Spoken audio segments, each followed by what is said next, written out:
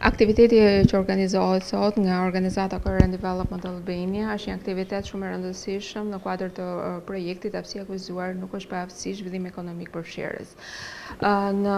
nëntë muaj pothuajse të zbatimit të këtij projekti me fonde nga GIZ-i, programi ProSEED, Organizata është përpjekur maksimalisht që në bashkëpunim me gjithë institucionet vendore, me shoqatat e PAK-ut, gjithashtu edhe drejtpërdrejt nga kontaktet me të rinjtë me aftësi të kufizuar,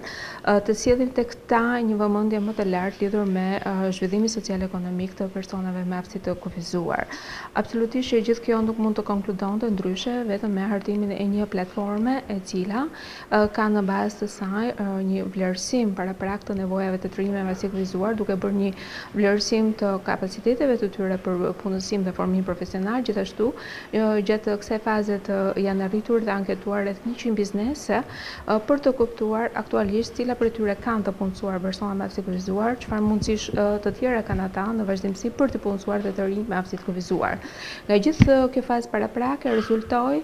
që ende sot,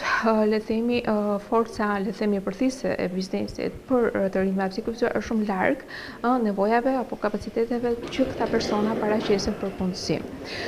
Kemi kërkuar që kjo platformë jo vetëm të vijë në trajtën e një studimi, pra të nxjerrin në pah cilat janë problematikat apo të sjellë disa udhëzime, por të shkojmë pak më përtej, domethënë që të bëhet një dokument i cili mund t'u shërbejë institucioneve vendore, kryesisht Zyrës së Punës, ë në ndërmjetësimin që bën Zyra e Punës midis punëdhënësve dhe punëmarrësve në rastin e punësimit të personave me aftësi kufizuar, pra cili do të jetë, le të themi,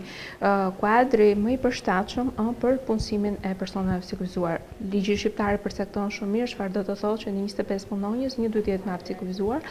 Por duhet patjetër domethënë që edhe biznesi, sektori privat t'i krijojmë kushtet ose njohuritë e duhura paraprake në rastin e punësimit të këtyre personave.